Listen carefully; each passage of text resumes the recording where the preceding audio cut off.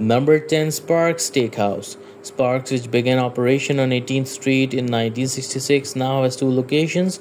Despite its macabre distinctiveness, Sparks has continued to appear on the list like this one over the years, and its cuisine has evolved beyond its wonderfully retro setting.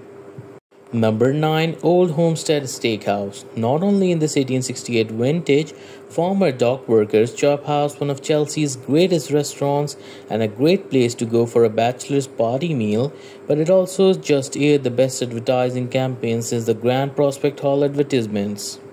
Number 8 St. Anselm.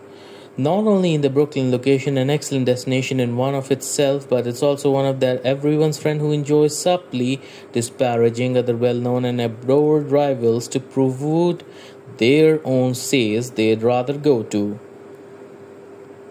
Number 7 Gallagher Steakhouse. This location was the site of Gallagher's original speakeasy, which debuted in 1927.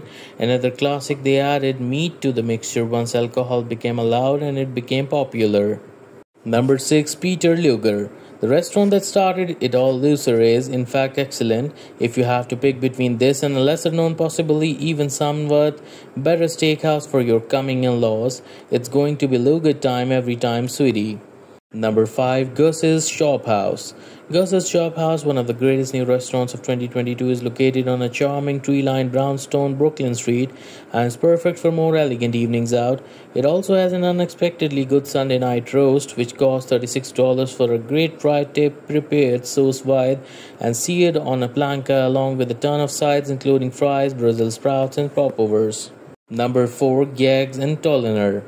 Gage and Tolliner is serving things at once among the greatest new restaurants of 2021, a great place for cocktails with a special martini menu, and inside this gorgeous location is an expansive chop restaurant.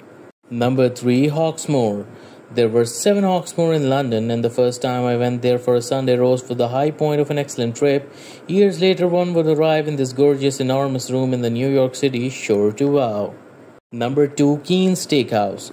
Keen's is the type of site where people are familiar with its name. The 138 year old chop of history is almost as well known for its mutton chop as it is for its namesake dish. The menu refers to it as our legendary mutton chop. Number 1 Cote. At Cote Korean Steakhouse, some of the hottest tables in New York City are set with shining grills like pearls. With sporadic flashes of neon lighting, this one's atmosphere is nonetheless pleasing despite its sleeker than plush shape.